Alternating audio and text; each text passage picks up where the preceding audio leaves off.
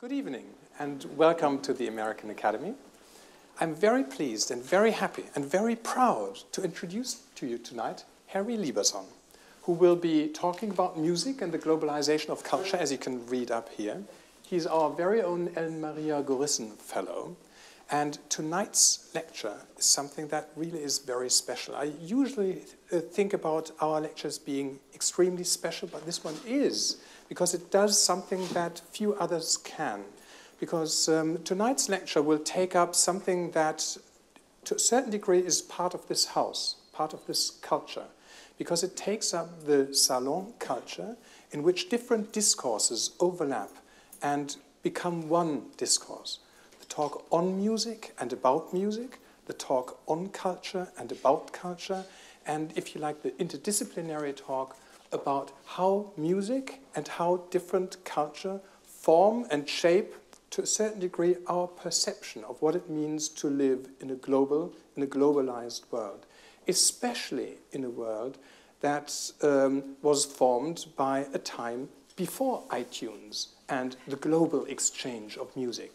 More will be said about this um, by Harry Liebersohn in a minute, and I promise to be very brief. But let me just very briefly say something about um, you, um, Harry. You have a PhD from Princeton and um, come to us from the University of Illinois, where you're a professor of history. And um, the interesting aspect of your historical research is that you focus on cultural contact. And cultural contact, in its various manifestations and various forms, has, if you like, two results. It tells us something about the traveler and the place where he or she travels and the cultures that he or she comes in contact with, and how this then feeds back into the original, if you like, culture. And the interplay between the visitor and the visited, the self and other, is something that, in the context of colonial discourse, informs in a very jargon free and intelligent way your writings. I can only recommend that you look at um, Harry Liebersohn's um, many books and publications, um, three of which I'd like to briefly mention because they cover and describe very, I think, nicely and adequately what it is that you're working on. The Return of the Gift, European History of a Global Idea, or The Traveler's World, Europe to the Pacific, or Aristocratic Encounters, European travelers and North American Indians. Now you can see from these topics and from these titles that here we are dealing with a historian who looks, if you like, from a continental European perspective at a continental European perspective. Somebody looks from here to there and from there backwards and who plays and deals with, if you like, these cultural intersections. I'm not going to say anything about music because this is, if you like, the topic of um, your talk. You've explored this uh, topic earlier. And um, let me just mention that you were a fellow at the Wissenschaftskolleg in 2006. I was uh, happy to hear. And at the Institute for Advanced Study in Princeton. And for those of you who are familiar with the German academic context, he's a recent recipient of a Humboldt Research Prize. And that really is high praise as far as uh, scholarly merits are concerned. So without um, further ado, and without going into my minute notes that I have here with me, which I promise not to read out, uh, let me just very, very, very briefly mention one quotation that I found in one of the reviews that we got for the project um, that you handed in here, which I read behind your back, I must admit. And um, a reviewer very nicely phrased this in such a way, he said, Harry Liebersohn is the quiet historian now, the quiet historian will talk to you in a minute. Afterwards, the quiet historian will answer your questions. Then we've prepared a reception for you, as you know. And then you have um, more time to ask questions. And the quiet historian will have, if you like, his history, give the answers, and talk very vocally and eloquently and elaborately to you. Harry, it's all yours. Thank you for being here.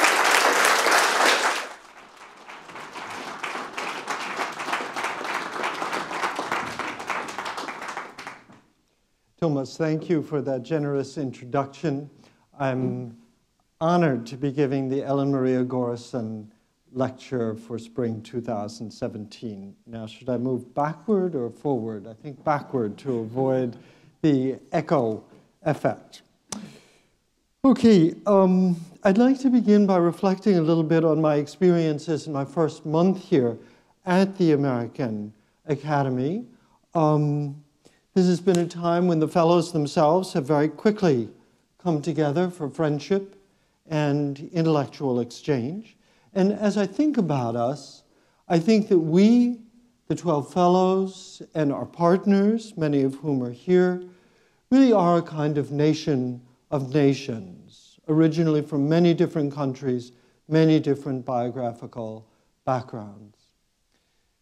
And here at the American Academy, we have encountered the kindness that I think each one of us feels very deeply sympathy, support, and the ability of the Academy community, its trustees, its staff, its generous donors, to shape a community in what I think of as a very German way, in the best sense. And what we've seen just in this month's time is how much the Academy can do to build bridges back and forth across nations. I talk about this partly because I've very quickly developed a sense of patriotism about the Academy, as I think many of us have, but also because it says something about the approach to culture that I want to talk about um, today, which is an approach which looks both at intensive contact between individuals, which we surely have here, and at the same time, lines that radiate out to the rest of the world. So I want, what I want to do today is to talk about that as a larger theme that we can pursue back through the past 150 years. My starting point is going to be a few notes to advertise a performance upcoming of the Berlin Philharmonic on March 4th, 5th, and 6th by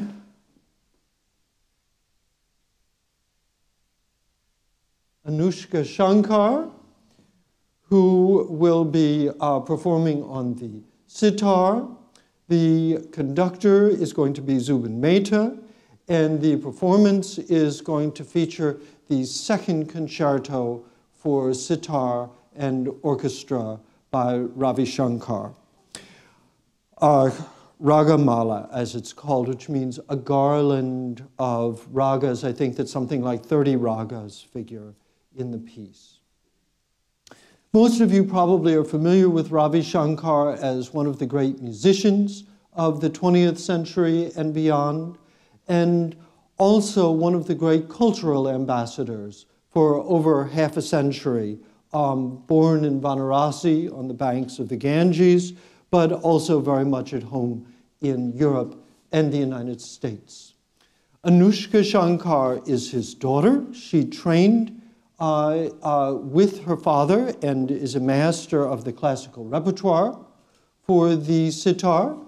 In recent years, she's also done a lot of experimentation with fusion and pop genres. She did an album in two 2013 with her half sister, Norah Jones, who is, I hope, also a name um, to many of you. Uh, Zubin Mehta hardly needs an introduction to this audience as another cosmopolitan picture. So I thought that in advance of that concert, we could start with a little clip from a performance in 2014 of uh, Anoushka Shankar playing a little bit of the Raga Mala in Florence. So let's just start with this.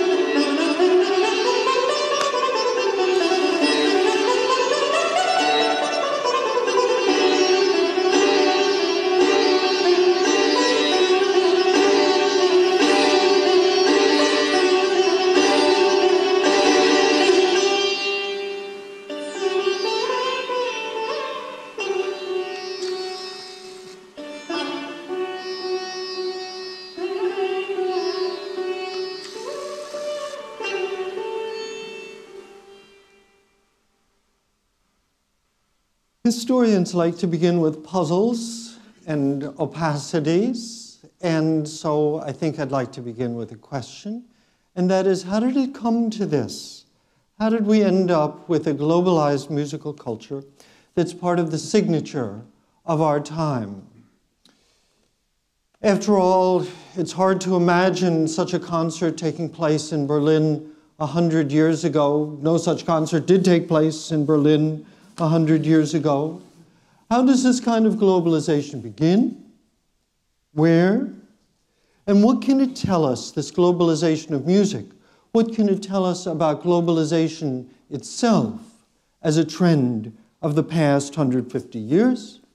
And about the fate of cultures within a global social, economic, and political world. I started to study globalization in the 1980s by focusing on a drama that we historians and others like to call cultural encounters. That is to say, the immediate face to face meetings between people of different cultures. At the time, I thought that I was pulling up a front seat right where the action was, and that these were going to be pretty transparent. And what I've discovered over the decades since then is that that's a little bit like saying the atom should be pretty easy to study. Um, they just look more and more complex to me over time. And it seems to me that the stories that we tell about globalization and about face to face encounters, cultural encounters, need to be told from more and more different perspectives. The book that I'm finishing at the American Academy takes up one kind of story of global encounter, and that has to do with the globalization of music beginning in the mid 19th century. Of course, musical encounters are very old. But something different starts to happen in the mid 19th century that I want to talk about over the next hour. And I was intrigued by what these musical encounters in particular could tell us about globalization from the mid 19th century down to our own time. Globalization comes to music in three waves, roughly in the mid 1880s, in the mid 1900s and in the mid 1920s. So I'm going to look at this at roughly 20 year intervals. And let me first try to describe these briefly for you. By the mid 1880s, non European instruments were arriving in European markets, in London, in Paris, in Brussels, in unprecedented numbers. And the same thing can be said for non European musicians who started to appear in Europe, um, in major cities, and also on tour in smaller places, as we're going to see in a few minutes. These new arrivals set off a kind of intellectual revolution among a small group of connoisseurs, experts, craftspeople, scientists, and musicians who penetrate in new ways into the inner life of music from extra European places. Phase two comes about 20 years later with the spread of phonographs across the world. Now, Edison invents the phonograph in 1877, but the phonograph was not immediately commercially viable. It takes until around the year 1900 for a kind of commercial takeoff of phonographs as a saleable commodity. And then very rapidly, um, phonographs really spread from pole to pole and around the equator and just about any place you would look, not just in big cities like Buenos Aires or Shanghai, but also in small places across the planet. A third leap takes place around 20 years later, um, after World War I, when a kind of democratization of global culture takes place. um, with things like the popularity of Hawaiian pop music, the ubiquity of jazz from Paris and Berlin to Shanghai, and the craze for Latin American dances like tango and, uh, and samba. Many of these developments actually start before the First World War, but they really take off in the wake of the war's end in the 1920s. It's a sign of the times that the hero of Hermann Hesse's novel Steppenwolf from 1927, Harry Haller, this is a guy who is really miserable, miserable amid the democratic culture of the Weimar Republic.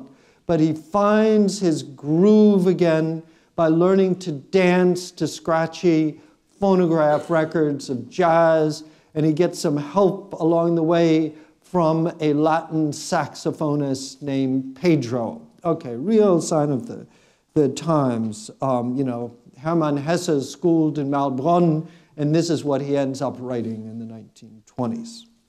So mid 1880s, mid 1900s, mid 1920s, these three moments are going to be sort of the staging points that I'm going to go through um, for the rest of this lecture. But first, before we get back to the fun stuff there, to understand the globalization of music and more broadly the globalization of culture, I want to talk a little bit about globalization itself as a social historical phenomenon. The most obvious change that takes place in the mid 19th century is the revolution in transportation from sail and carriage to steamboat and railroad. Other changes are less visible but also profound in their impact um, on social, economic, political life, and also on cultural contact. For example, um, scientific travel, things like the voyages of Captain Cook, of which there were many in the late 18th century, were almost entirely state sponsored. If you look 100 years later, in the late 19th century, there is still state sponsorship, but there is now a large intrusion of private entrepreneurship. When the traveler Stanley Henry Morton Stanley goes to Africa in search of the missionary David Livingstone. It's the New York Herald that pays for the trip. When the great anthropologist Franz Boas makes his first research trip to Baffin Island, it is Rudolf Mosse's Berliner Tageblatt that pays for the trip. Boas writes a series of articles afterwards for the Berliner Tageblatt. This is really something new and unprecedented that wouldn't have happened a hundred years before. Another critical change that sort of takes us to Berlin, and that is the development of the modern research university, which really takes form in the second half of the 19th century. In Central Europe, one can point to certain institutions in particular Berlin, Leipzig, Munich, Vienna, but of course, above all, Berlin, the great jewel in the crown.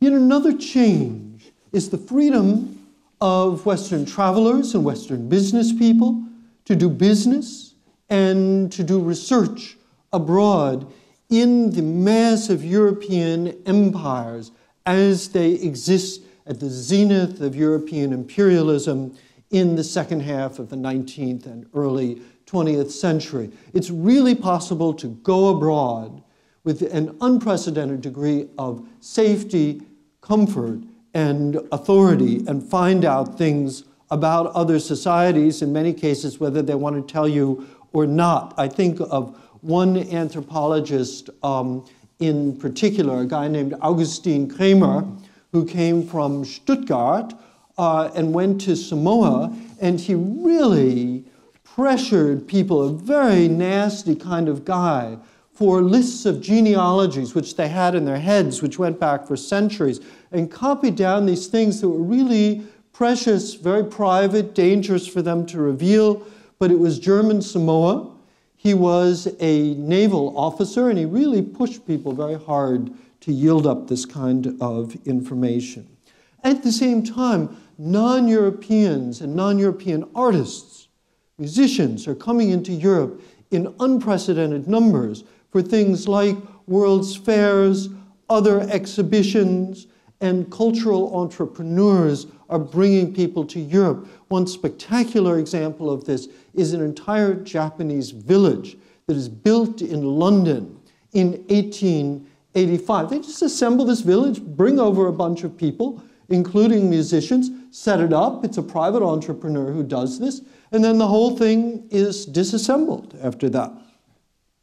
And finally, there is a shift in the European method, the European approach to non European civilizations. In the late 18th century, in the age of Captain Cook, it's largely taxonomic. It's a matter of sort of classifying things side by side. You can see this very clearly if you look in the visual atlases of the time and see the different folk types who will be illustrated in a visual atlas.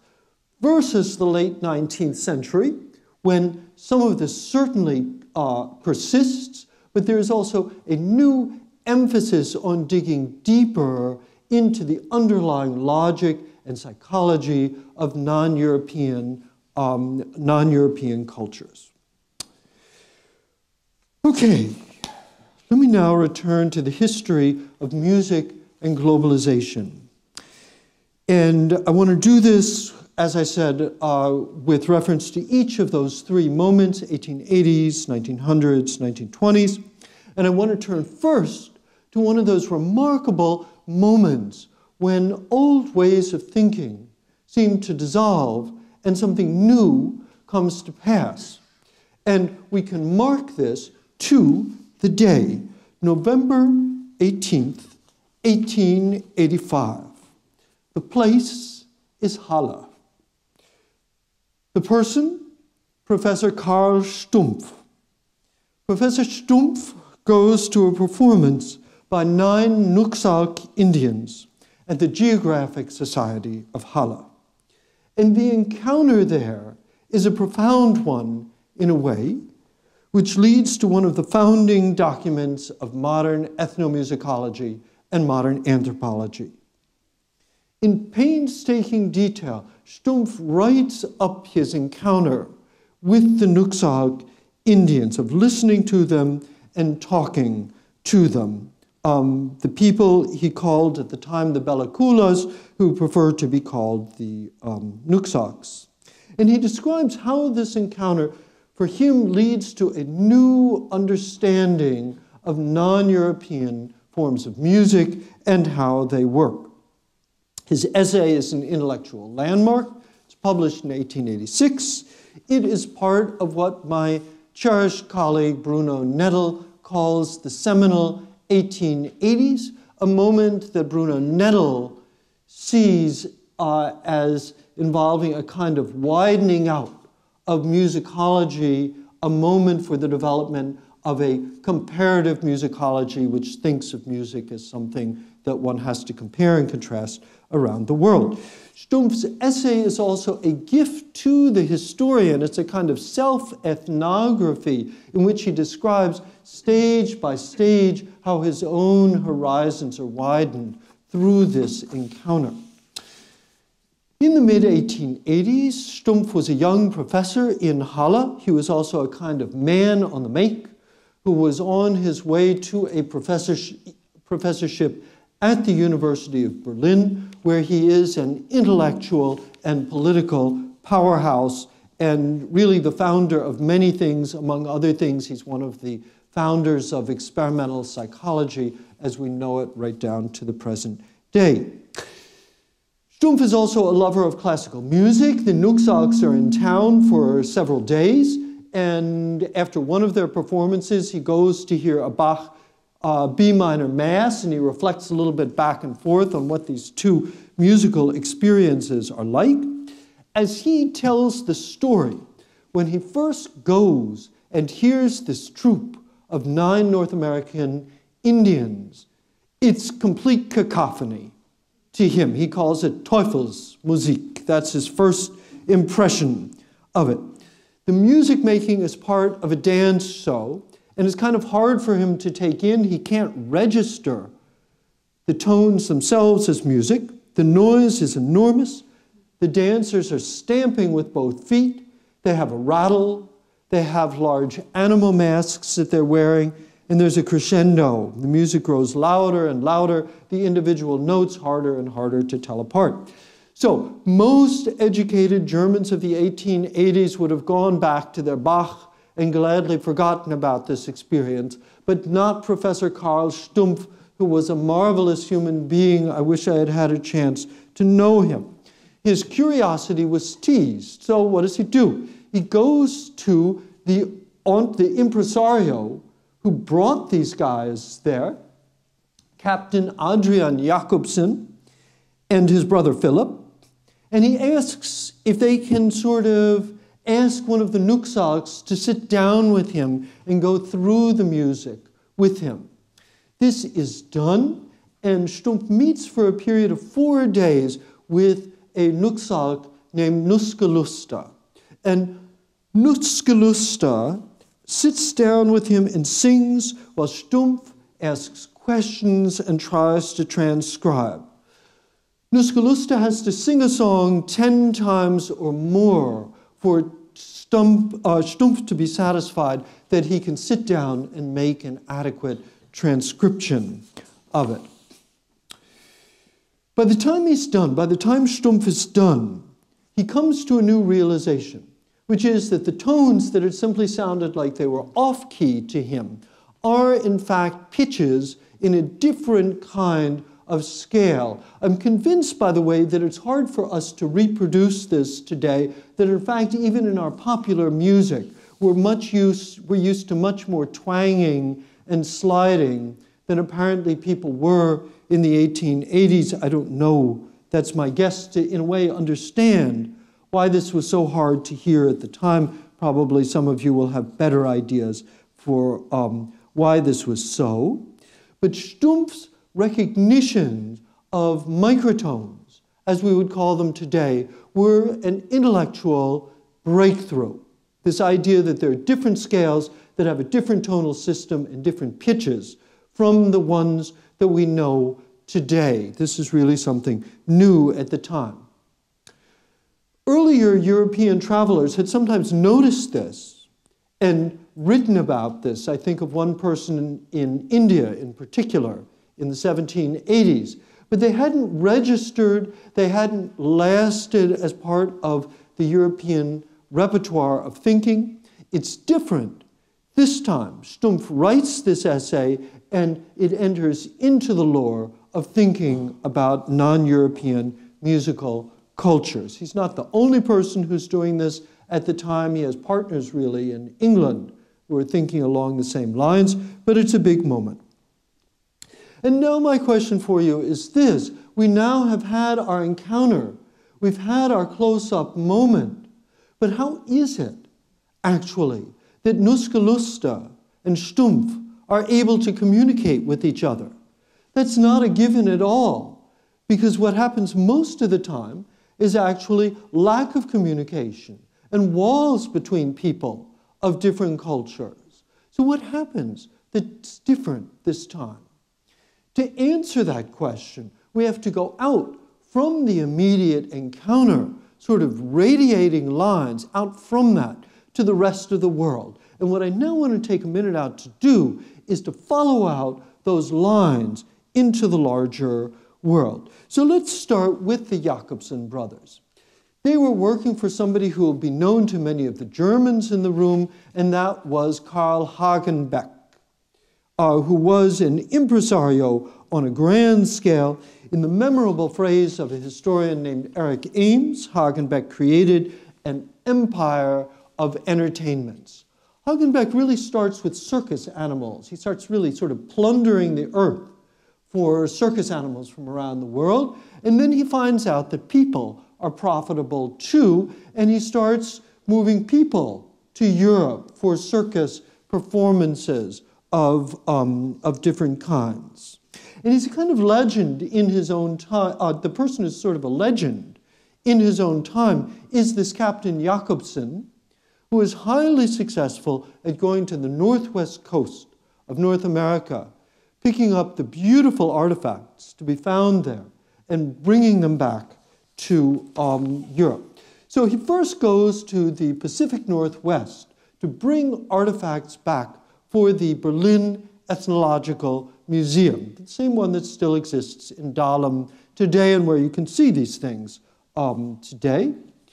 He then goes back for a further trip and brings Nuskalusta and his fellow performers back for a European tour. And by this time, Jacobsen can communicate with the Nuxalks. He knows enough of the lingua franca of the area, Chinook Wawa, it's called, to be able to communicate with them and also to act as a linguistic mediator between the Nuxalks and Professor Stumpf. So there you have an important point, of course. How is communication possible? You see there the intermediary who can do this.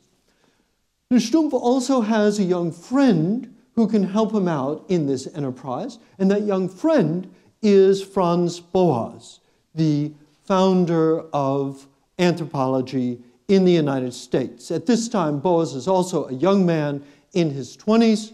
He's doing a brief stint at the Ethnological Museum um, in, uh, uh, in Dahlem. And in fact, his task there is to sort out these artifacts, the material artifacts that Jacobsen had already brought back from the Pacific Northwest. Boas was busy learning this lingua franca, uh, uh. So he is also able to help um, Stumpf out after the circus troupe has left, and he translates two songs for, um, uh, into German uh, for Stumpf. So here is the second point. Here is your academic expertise, that new specialized university and museum at work that I spoke about before. There are more people, there's a missionary involved, but let me turn to the Nuxalks themselves as our last actors. The Nuxalks were sophisticates. They had a lot of contact with Europeans. Um, George Vancouver first visited them in 1793, and from that time on, they became quite conversant at, uh, at dealing with Western trappers and traders. Hence, we should not be surprised that they were self confident teachers um, to Stumpf. And I want to tell you one little story about this. First of all, during their sessions, Nuskalusta was really a good teacher. He slowed down, he dropped the dynamics, he made it possible for Stumpf to follow him. So at one point, Stumpf is with all of the singers in the troupe, and he says, Do you guys know any more songs, you know, beyond what you publicly um, performed? I'd like to know if you have a few songs from your games that you could sing. So they look at them, at him, and they say, You know, we have thousands of songs. And you know, it's so funny because Stumpf just reports this completely straight, dutifully. And when you read it now, you just wonder if there wasn't a patronizing touch to this. I don't know, but I'm grateful to Professor Stumpf for so dutifully writing everything down in this marvelous self ethnography, that uh, autoethnography that he gives us here. So Stumpf's and Boas's meetings with the Nuxalks are both close encounters and also part of a global network of knowledge. There's a convergence here of circus entertainment and academic research, and it enriches two disciplines. One is musicology. Stumpf himself goes on to found the great Phonogramm Archiv, the phonogram archive, which is also still sitting there in Dahlem today in the building of the Ethnological Museum.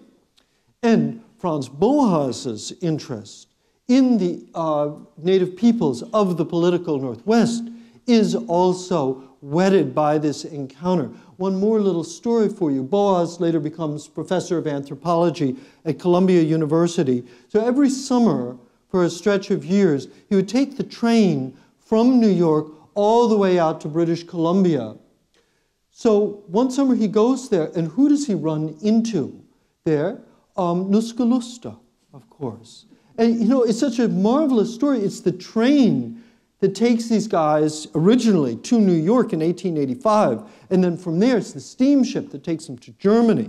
And here we have Boas going all the way in the other direction. Okay, I now want to do something different. I want to turn to our second wave of globalization, and this time I'm going to turn from storytelling to statistics, which I hope will be a joy to you all, to talk a little bit about the creation of the phonograph industry as an international business after 1900. I find it an astonishing story which is best comprehended through figures.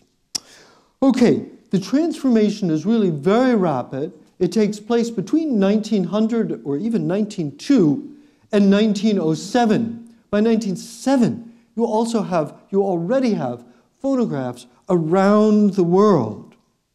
And what we're going to be looking at is a trade journal called Talking Machine World. It's quite well known, and it's an, a, really a very rich historical source that you can extract all kinds of things from. And in Talking Machine World, starting in 1905, it lists all the phonograph exports from the Port of New York to other parts of the world. And what I have done with the help of a history research assistant and a young graduate student in finance named Jack Liebersohn, who also happens to be my son. And they have, I think it's ethical that Jack did this for me. Nobody's complained so far. Um, anyway, they have com compiled these spreadsheets, and out of the spreadsheets, you can make statistics. It adds up to over 8,000 lines of on Excel spreadsheets. You really could hardly have done this without contemporary computers and computer technologies. So the, what I want to do is walk you through this so that you can see how the statistics are made. And I have to say, I'm a little bit fired up about this in the age of all truths, which are half truths, and when you get right down to it, untruths and mythologies. Let's look at how historical truths are constructed.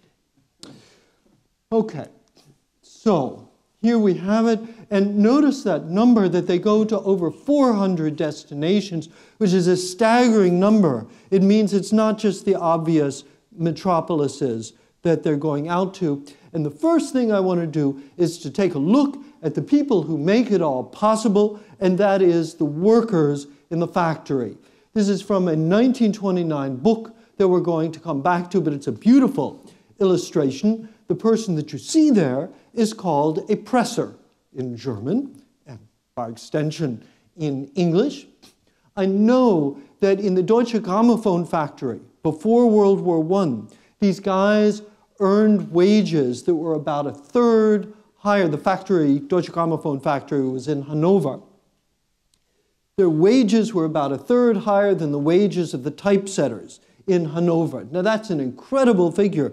Typesetters were really labor aristocracy. So these are highly skilled craftspeople that we're talking about, and they would literally be involved in pressing the shellac or other materials um, against the matrix or, or master um, for a record. It was very intense work. They did it for long hours, and then for Deutsche Grammophon during the summer, they would go and uh, work for Herr Berliner, Joseph Berliner, the brother of Emil Berliner. They do garden work for him and, you know, fix up his house during the summer. But anyway, these are the guys who make it all possible. Okay, this is the journal that makes it all possible. This is it, Talking Machine World, and it says the life of arcades holds the trade in cafes, easily increases your receipts. Now, I have to add that what you see there is actually not a Victrola or phonograph machine. It is actually a pianola or um, player piano that you see there, which is also part of the story of this time. Okay, and here we see a page from Talking Machine World. Please note the date and the issue, volume 1, number 4, 1905. And you see here our foreign customers. Alas, I can't enlarge it for you, but right here we see March 13th, Auckland, Berlin, Buenos Aires, Cardenas, which is in Cuba, Calcutta, Gibraltar, Hamburg, Havana, Havre, Liverpool. It starts to give you an idea, and it changes week by week. It's different places. Places come and places go in these figures. Okay, so get a good look at this. What you do is that somebody microfilmed the whole darn thing. What you do is you feed the images into an optical reader.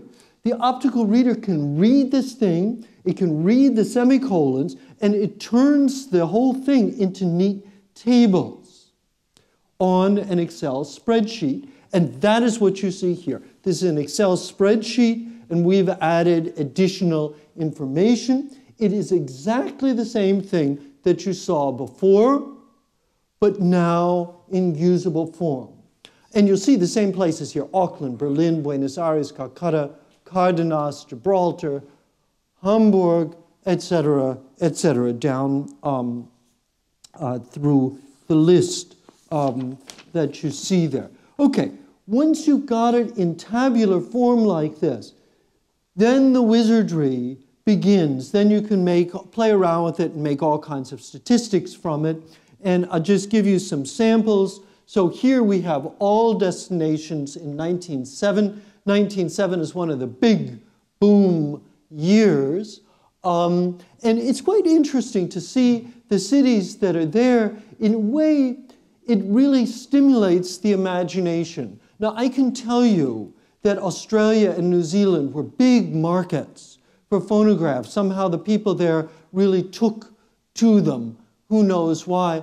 Also, Yokohama um, part of the Tokyo area, already had lots of foreigners who may have been an early market in addition to um, Japanese. Fremantle is on the west coast of Australia. It was a boom town because prospectors would outfit themselves in Fremantle and go out from Fremantle into the desert. In addition, there was industry in Fremantle in the early 1900s. So this was a year you know, um, exports were going out to Fremantle. So your imagination gets going with this. You start to imagine a whole social history, what's happening in the world. Where are things booming? Where there are Europeans who want records from home? Who is taking things in? Where records being um, produced in local languages? Okay, there are more and more things here shipments to the world. We excluded London for this because it's such a big market that it throws everything off. Package destinations. Year by year, you start to see the possibilities here of what you can now do. Major cities. And then this one I particularly like. We picked out some second level cities, some of the minor destinations and what's interesting in a way is precisely what seems disturbing at first. It's fragmentary. You don't have the grand continuous figures that you do for a, a, a London um, or a Sydney. And so you start to ask yourself, what's going on? Why are there shipments? And then why do the shipments stop? Is there one businessman who gets out of the business? Or are the figures simply not recorded? Well, again, it starts to be sort of the jumping off point. You know, is, is Freeman, Fremantle booming one year and busting the next. That's sort of the social history that emerges. So statistics aren't the answer so much as they are the jumping off point for a whole new set of questions. Okay, um, how am I doing for time here, Thomas? Good, okay. All right. I promise I won't do that. Okay. But what I will do is turn to the third part of my um, talk. I now want to turn to the 1920s and that Hermann Hesse moment when even the German Bildungsbürgertum learns to love the phonograph, which it does by the end of the 1920s. In the year 1929, I'm going to just run past this. In the year 1929, the Carl Lindström Company brings out an anniversary volume, 25 Jahre Lindström. Now, Lindström is the big fish that swallowed most of the little fish by 1914, most of the smaller record producers. It kept the labels, it kept their names like Odeon and Parlophone, which both later were early sort of Beatles producers. Anyway, Lindström swallows up the little fish and brings out this anniversary volume in 1929 to celebrate its um, achievements. Now, if you look at the original volume, I couldn't really get a good shot of this for you. But if you look at the original volume, the cover of it is really quite beautiful. There is a gold band running down the cover, which is pure sort of Art Deco, you know, kind of beautiful, striking color. So that's how it begins. The last contribution to the volume is an essay by the comparative musicologist uh, Kurt Sachs who writes about the Germans' fascination with music from around the world in the year 1929. So, beginning point, end point. I want to give you a few of the highlights between the beginning and the end, talk a little bit about the firm and about its kind of cosmopolitan vision of the phonograph industry. And I'm also going to throw in a few remarks about about Berlin. I want to make this a little bit Berlin focused. Lindström was a Berlin firm. And about the Jewish bankers of Berlin and few lines about their work in promoting culture, popular and high, through the phonograph. Okay, a first look at this man. Max Strauss is a great picture of him. It's so 20s. It's so slick. It's so clean. Um, Max Strauss was one of the founders of Lindström. He really started this in 1902, although the firm was formally founded in 1904. And there was a real visionary quality to Strauss and his um, companions. Not, not all of them were Jewish, some of them were. These people in the way of the German banking industry which did so much to industrialize Germany in the 19th century. These were the people who really had the strategic vision of building a German phonograph industry sort of from scratch to rival the already established, up and running Anglo American and French phonograph industries. Okay, after the war, um, it's quite interesting, actually, because the German phonograph industry is big before the war. It completely collapses during the war. They couldn't get any shellac from India. And then it's revived. They do an incredible job of reviving it after the war. And this is the factory that they build on the um, Schlesische Straße, right on the Spree, um, after the war. Um, and then what goes along with this. There you see the factory in the background, and in the front is the villa, is the mansion that they buy, take over from an industrialist who had already built this, and they set themselves up in grand style in this villa. And I'll just show you one slide as an illustration of this. Here is the boardroom where great decisions are made. And the, the, the anniversary volume is just wonderful. It's lavish with pictures like this. Let's move on a little bit to uh, sort of the phonograph itself and what it looks like in the 1920s. This is the hip young crowd of the 1920s. uh, glückliche, glückliche Jugend. And notice the kind of phonograph that they have. Not Oma's, you know, big piece of furniture. This is the little suitcase that you can have in your small apartment, which is what uh, Harry Haller does in Hermann Hesse's novel. Um, while the babe Hermine teaches him to dance, she teaches him to foxtrot with one of these little things. But of course, you can also put it in your car, at least in your imagination, and take it out for a picnic.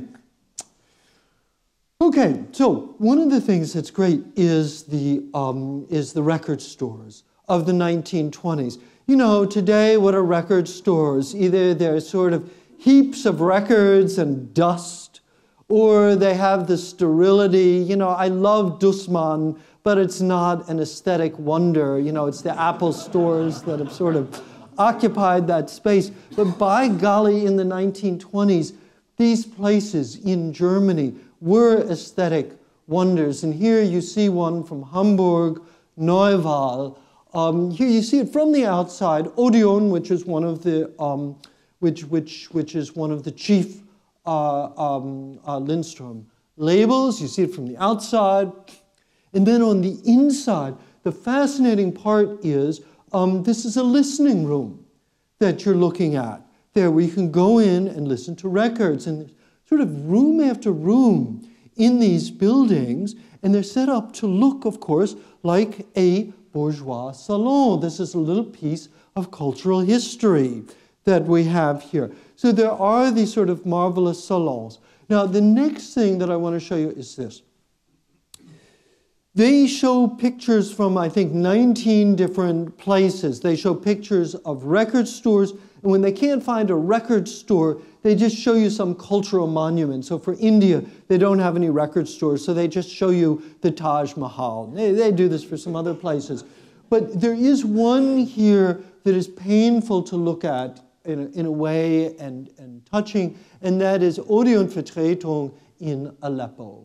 And when I look at this, I think of the great musical culture of Aleppo, which was also a nightclub culture in the post war period. Somebody here could tell me um, how long it lasted. So, just a little glimpse backward in time, how early these records are already circulating there. And this goes back to pre 1914 in um, Syria and um, in Egypt, really throughout the Middle East um, records are circulating before the First World War.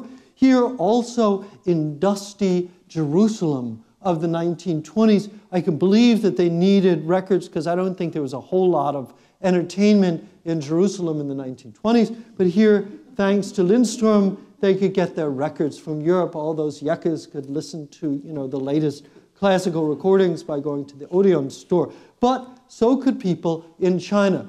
Beka is another label, um, goes back to around 1905 when um, the entrepreneurs of Beka started circulating around Asia, and here is a 1920s Beka advertisement. Um, here is an illustration just to give you an idea of the range. Here's an illustration. Odeon, sort of interesting because it's Casa Edison, sort of everything at once. Um, so here we have an illustration um, from Buenos Aires. And here, record labels. And record labels are a great source, they're beautiful. The ones before the war were much more varied. And here it's sort of the unified style, a kind of Bauhausization of the record labels. They're slimmed down, they're kind of slick, you know, in, in uh, keeping with Max Strauss himself. And they're in my rendition, somebody can correct me here, but I see German, Hindi, Italian, Arabic, Chinese right here.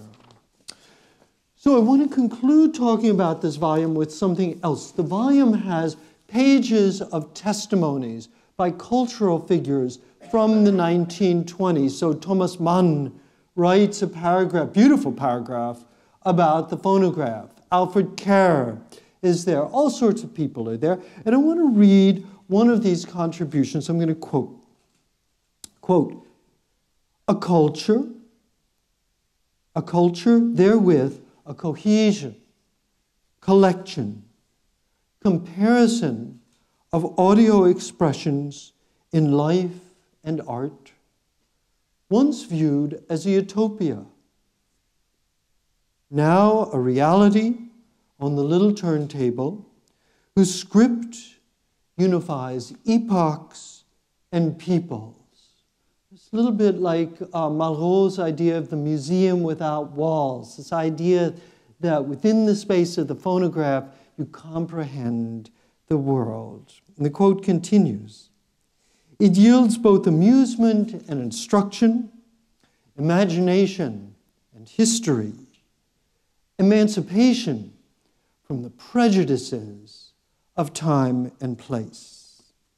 So there we have our cosmopolitan moment from the pen of Oscar Bie., culture critic and longtime editor of the Neue Rundschau. But even as this memorial volume was published, Lindström's years of glory were coming to an end. Actually, the majority shareholder by 1929 was Columbia Records. In the memorial volume, the anniversary volume itself has a little bit of the character of a memorial volume, as if this were a last look at something that's coming to an end here. A eulogy, perhaps even a defense of a certain kind of liberal vision of culture. And Lindström's proud role in creating it. And of course, as we know, far worse was to come in 1933. Um, Lindström is one of the first places where Gleichschaltung takes place. Max Strauss is thrown out right away. Maybe it was his good fortune that he was. He was able to go to New York without much difficulty and then later uh, goes to England. But all the Jewish directors are um, thrown out as the Nazi regime does what it can to squelch the liberal culture of the Weimar Republic and gain control over the means of communication right away.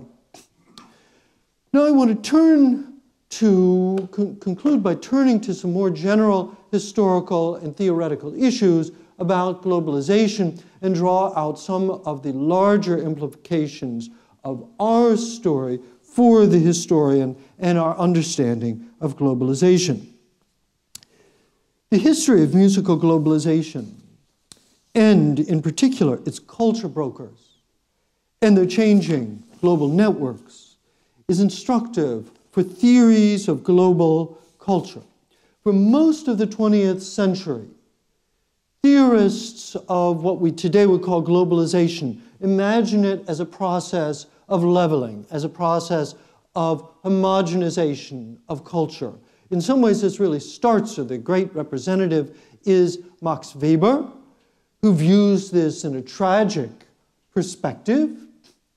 But you can also see it in the modernization theories of the 1950s and 1960s, who see it as a kind of triumph of Western culture, and in particular of American culture around the world. So, either pessimistic, as in Weber, or optimistic, Yet, one thing that we can say for sure is that this is not what happens to music.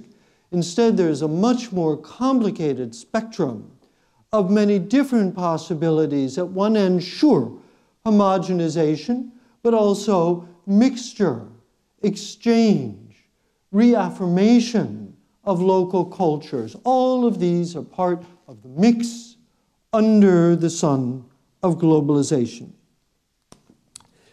Today, theories of cultural homogenization are actually sort of passe and get a skeptical reception. Instead, there's a far greater emphasis on the complementary nature of globalization and the local, as people say. And in some ways, I marvel at at the beginning in the 1980s, really prescient thinkers like the anthropologist Arjun Appadurai, Carol Breckenridge, and the Swedish anthropologist Ulf Hannerz pointed out the complementary nature of globalization and localization, if I can call it that, of cultural trends. And their emphasis on the interplay of the global and the local is really what has dominated the discourse on this subject um, ever since and remains very lively and very interesting. With growing recognition of diversity has also come growing anxiety. Recent political events in England and the United States, Europe and the United States, suggest a growing siege mentality in which one has to build a wall or retreat behind a channel to escape from being drowned in otherness. We here at the Academy come together at a moment of rejection of globalization and its works, in particular, the globalization of culture. Historians have important comments to add to contemporary discussions of globalization and culture. Globalization and culture goes back a century and a half. It's not something new. And so do the fears that go along with globalization. The notion of local selves dissolving in a global monoculture.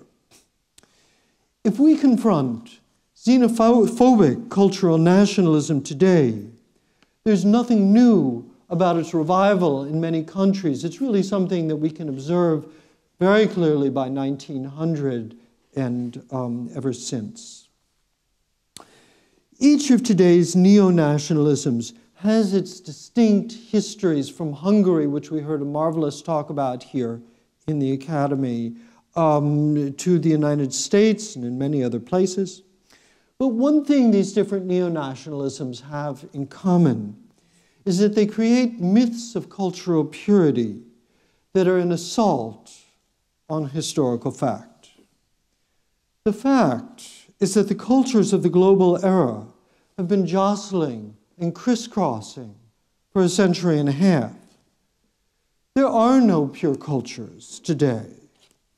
There are only cultures that grapple with greater or lesser success at blending the cosmopolitan and the homespun. Historians can help to clear away the myths of cultural purity for grown ups ready to face the real world of ongoing cultural exchanges. My history of musical encounters is not going to change the mind of Trumpkins or other neo nationalists, but for the generous and the curious, recalling the history of music's globalization can help to clarify our conversation about what makes for a culture of freedom and creativity. Thank you.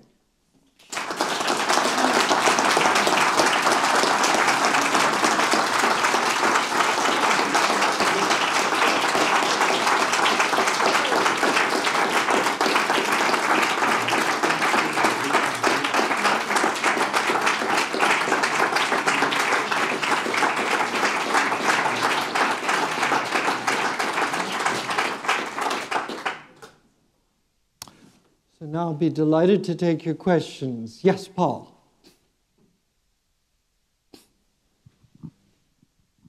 Uh, so thank you, Harry. That was uh, fascinating.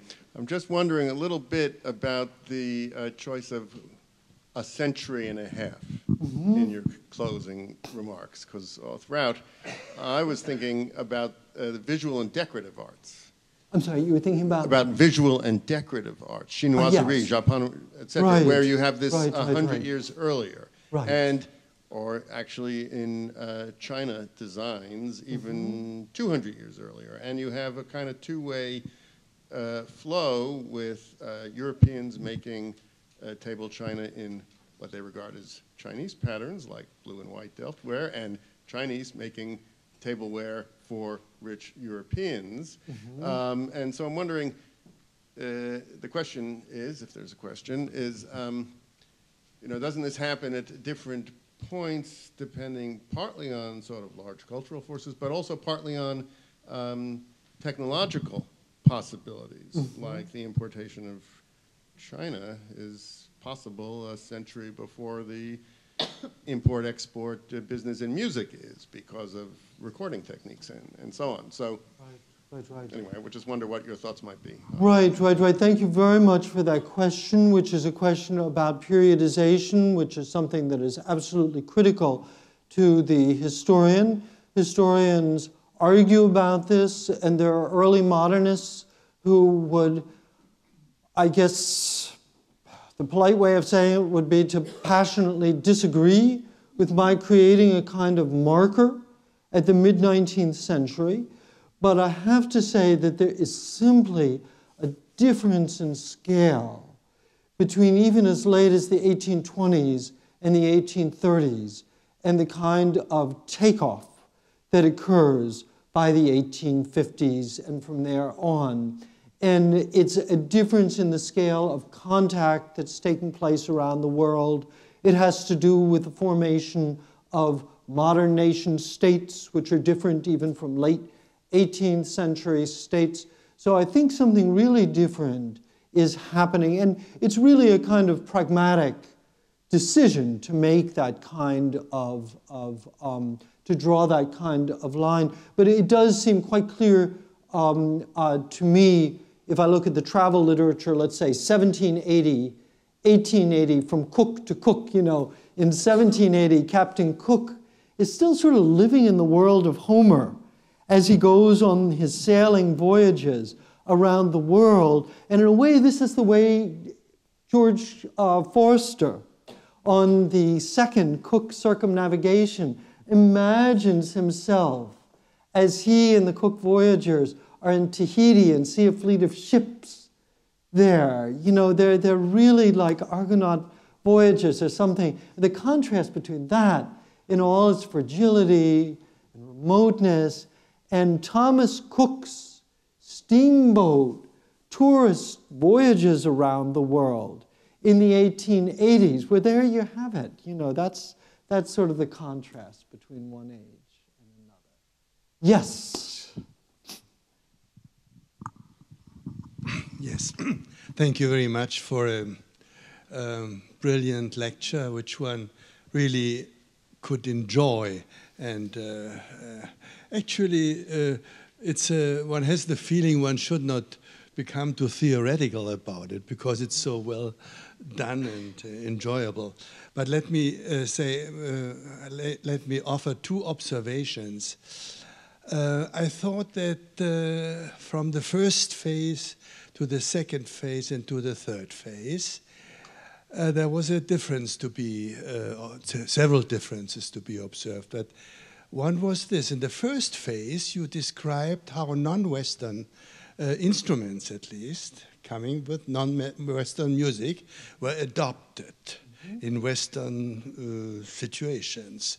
In the second and the third phase, it was much more the export uh, from the West to other parts of the world. Certainly, with the statistics uh, you analyzed, and again uh, with the technology uh, of phonographs being sent out. So, is that uh, impression correct? And if it is correct, does it result from your choice of examples and your, your methods, or is it a trend in music? Yeah. Relate, if I may say the second point. Please. Mm -hmm. At the end, uh, relating to 1933 and in your concluding remarks, you brought the two things I have in my mind together the story of uh, music, of the use of music, aesthetics, culture on the one hand, and nationalism, uh, anti cosmopolitanism, etc. But it's impressive to see that you can tell a story for most of your lecture without mentioning the rise of nationalism. I mean, normally, as historians, talking from the 1880s to the 1900s to the late 1920s, we would stress very much the rise of chauvinism, of nationalism. The First World War appeared in your lecture, but it did not play a major role. We have a catastrophical view of these decades uh, with respect to Europe.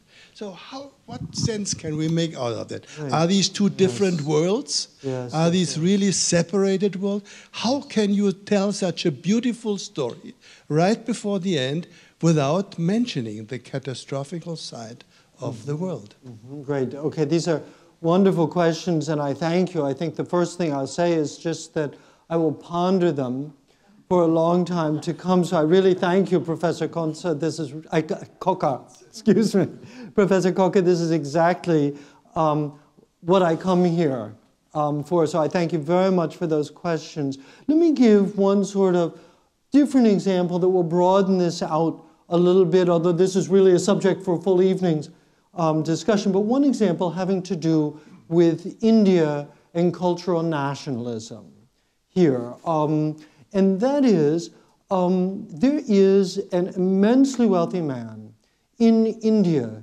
named S.M. Tagore. He comes from the same family as Rabindranath, but they're distant relatives from different branch of the same family. S.M. Tagore is a wealthy philanthropist. He must have been one of the wealthiest people in the world with hundreds of thousands of peasants on his domains. And he's a great music lover who undertakes to revive classical Hindustani music, which he sees as being in a state of decline. And he plays a kind of double game here. On the one hand, the Tagores have their rise in the 19th century by being the servants of the British. They're the collaborators. This is really what elevates them. But by the 1880s, Tagore is a Hindu nationalist. He promotes the export of Indian music. He has instruments sent to one museum and country after another around the world. He writes tracts that are widely admired and read as they should be, really fine um, tracts, and successfully creates an, atmo- a- an atmosphere of admiration for Indian music as a high cultural achievement. Now, the other side of this is that it's a nationalist agenda.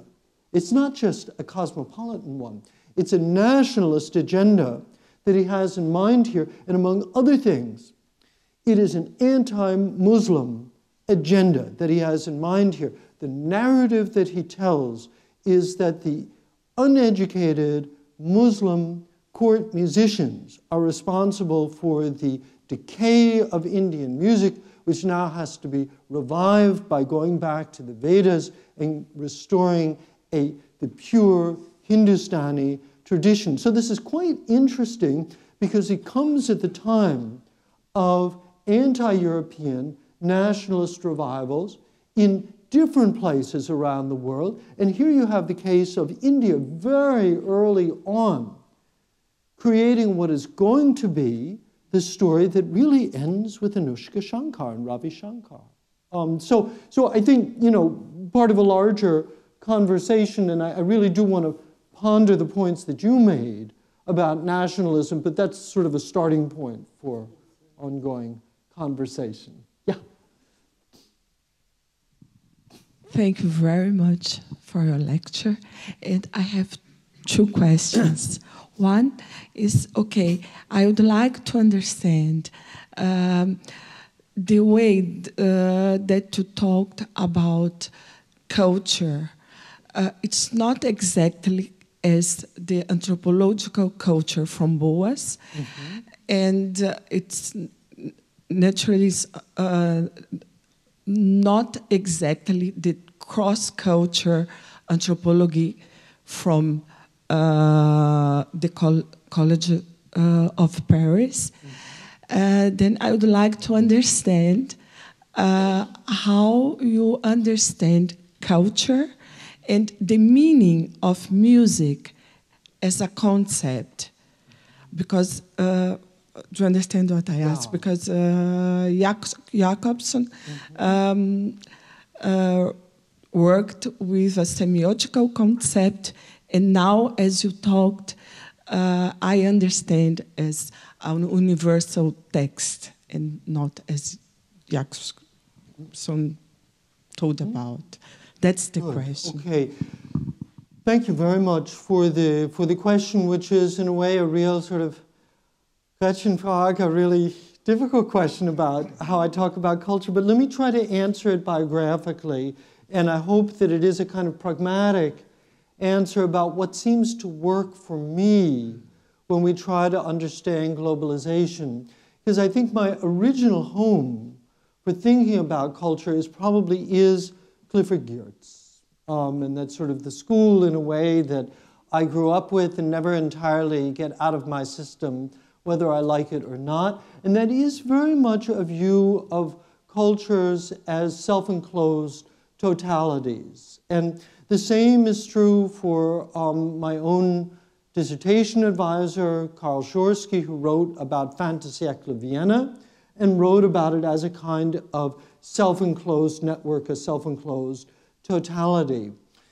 And as I've gotten away from that, I think that what I've developed is a view of culture which partly retains that and sees there as being small nodes, if you think of a, a web or a network, small nodes, and then asks about the communication between those nodes so that in my own work, actually, the people who become more and more important are the intermediary figures, or as people often like to say now, um, the culture brokers. Um, and I was just at a Cambridge conference in December, one of three conferences on culture brokers. So there seems to be a general interest in this idea of the intermediaries who actually have more and more agency the more we talk about them. Something like that is going on there.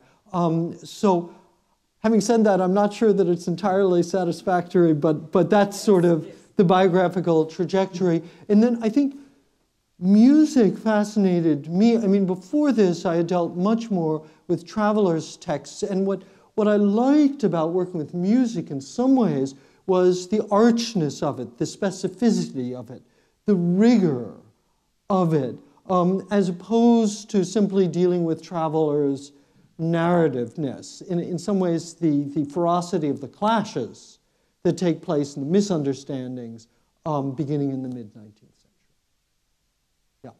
Mm-hmm. There's one way at the back.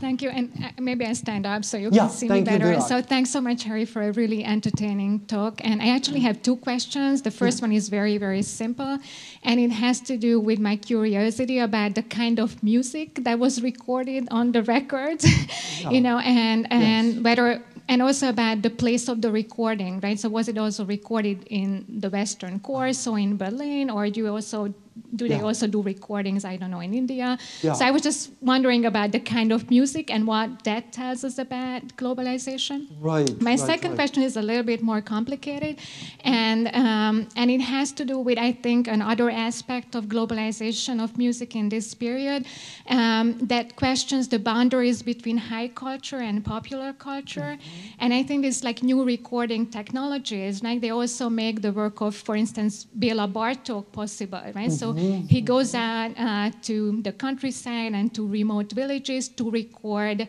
popular music and folk music, and also to understand folk music as a kind of fusion music, mm-hmm. and also a product of different kind of international culture encounters. And that's also a global trend, right? So it mm-hmm. doesn't only happen in Hungary, but it happens in the Czech Republic and Germany. So it's also a global trend that this boundary between high culture and popular culture is being questioned due to these new recording technologies. I was just wondering if you had any thoughts on that. Right, right, right. I mean, maybe let me just take the second point um, first and just say very simply that what we're talking about in many ways when I talk about this initial group of people, intellectual pioneers, talk about Boas, these people are rather marginal. They are really the exception to the dominant trends. Um, most Europeans um, uh, have a highly hierarchical view of the peoples of the world.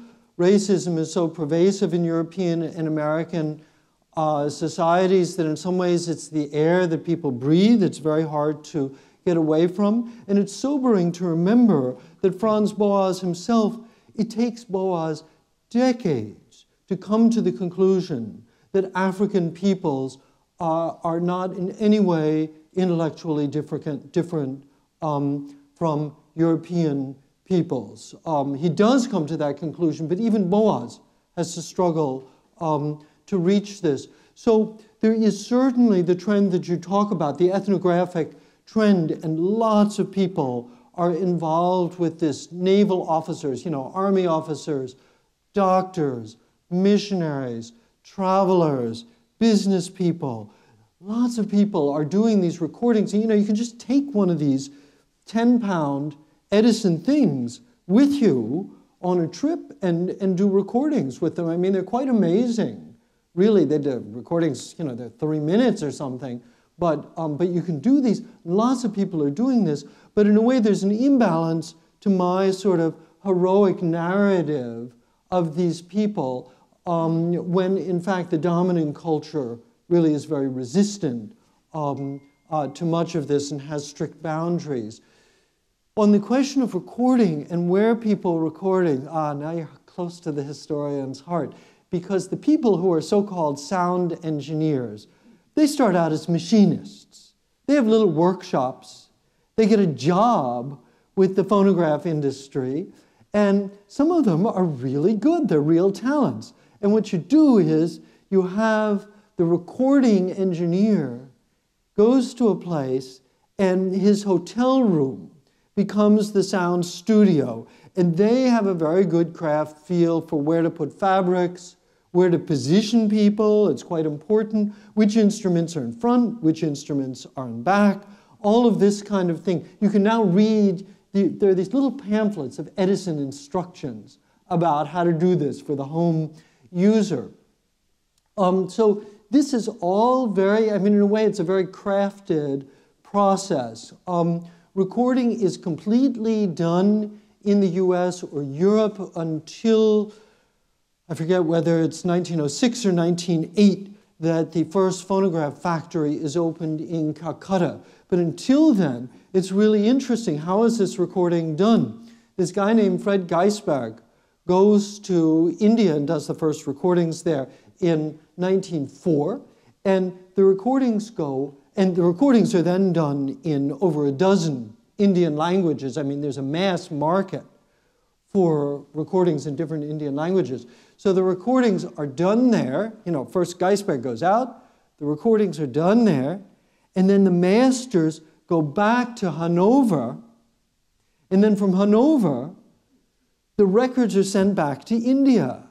And then even after they have this factory set up in Calcutta, that is the jumping off point for um, South Asia and East Asia for a number um, of years. So, I mean, one, one thing to try to imagine, when we say globalization and you look at those figures, it all sounds like magic, but it's human blood, sweat, and tears that's going on in all of this. I mean, in a way, as you know, for the example of Bartok, who really suffers when he does his field work, you know, it's really harsh for him when he does this. There's one guy, the first guy to be sent to Australia by Gramophone, which is the big English company. This guy goes out to Australia, and when he tries to go to Sydney, he can't get in at first because the plague has broken out in Sydney.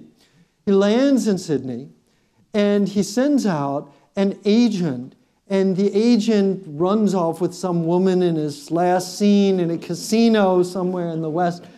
And, you know, this poor guy, he's really broken by the whole experience. So, you know, so it's really the whole thing is, is very sort of labored and tedious um, that's, that's going on here. Yes.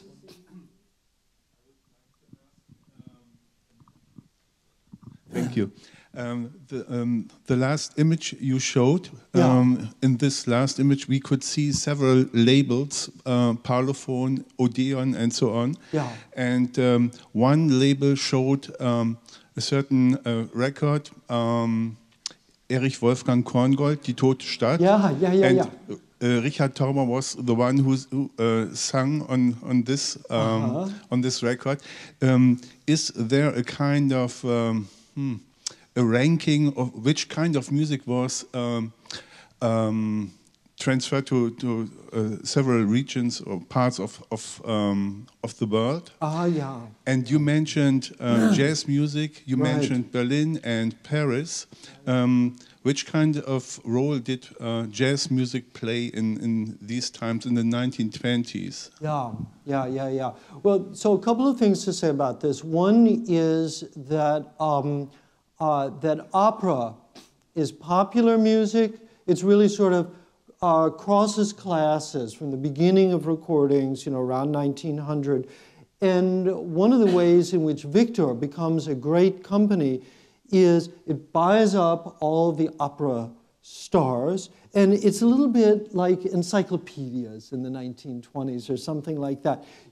It's middlebrow culture. You can buy culture and have it in your house by buying up red label Victor opera records. Now, at the same time, the German Bildungsbürger Bildungsbürgertum turns down its noses at recordings in the early years.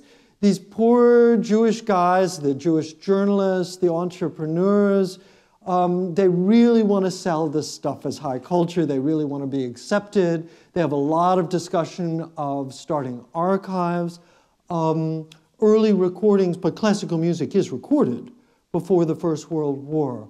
But it's really, it's fascinating to see over the course of the 1920s that educated Germany really sort of takes the recordings to its heart. There's this touching description in a dissertation from the mid 1920s where the dissertation writer, German dissertation writer, says the poor educated German who can no longer afford to go to the opera can still buy a Wagner record and take it home and be at the opera. So, you know, that's kind of, you know, it's very interesting to see these kind of shifts in status and what's going on um, uh, with, the, with, the, with recordings over time. And then the next big thing in the 1930s is that the record industry just about collapses, and what saves it is these big record collections. Get the famous conductor and have him do, you know, the nine Beethoven symphonies, these big things. And again, one suspects sort of the equivalent of the encyclopedia at home in these big editions in the 1930s. Yeah. One, yeah, yeah, Mark, we're, I think we're going to clo- close with you. Oh, great! Oh, Yeah. wonderful.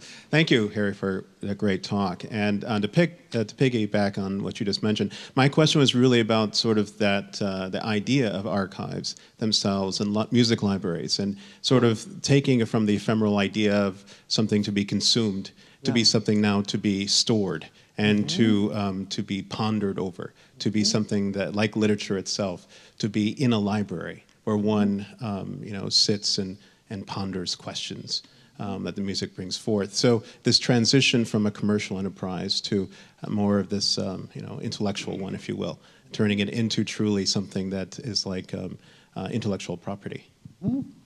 Right, and it seems to me that there is a real distinction between the United States and um, Germany. I mean, if you look at Talking Machine World, which I put up there, there's no, dis- there's no discussion of um, archives. I mean, I've looked at every issue up to 1920 or something. I doubt if there's a single mention of an archive. But the Germans, it's all over the place. There's this ongoing discussion, and you know, angry baron from so and so. There really is such a guy who gets into fights with Prussian cultural um, uh, uh, civil servants who keep sending him away, and he says we must have an archive. So there is this sense of monumentalization. And the first place, actually, to have archives is Vienna. We can give that much to the Viennese. Um, is, uh, uh, is, uh, is, is Vienna. So there is something distinctly Central European going on here, although there also are early archives. There's one in Paris, there's one in Russia, so it's a more broad sense very early on that's going on with this. Yeah, yeah, yeah, yeah. I, I think um, there is a kind of salvation anthropology going on here. That's part of it. There's a great interest, for example, in preserving German dialects, and here we come back to Virag's question, um, preserving uh, local music traditions. This starts very early on. Um, there's also a great interest, you know, we talk about music today, but that's really anachronistic. There was a great interest in recording historical voices, and this is what the Viennese focus on. And so there's a kind of monumentalization of great men that's going on here. Good. Thank you so much for those questions, Mark.